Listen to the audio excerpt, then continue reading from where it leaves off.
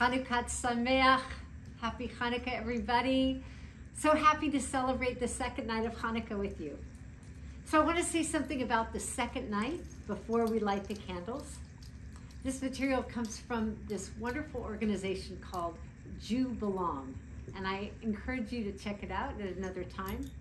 The second day of Hanukkah is about acceptance. It says the second Hanukkah candle sparks acceptance. Gaining acceptance of ourselves and others relieves aggravation and makes room for love. On this night, we remember Bob Goff, author and lawyer, who said, Most people need acceptance a lot more than they need advice. So join me as we light the shamash. We light the second candle first and then the first night. First, second night, and then the first.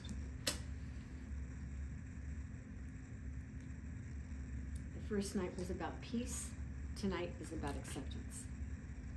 Baruch Adonai Eloheinu melech haolam Asher kitshanu b'mitzvotav V'tzivanu lahadlik ner shel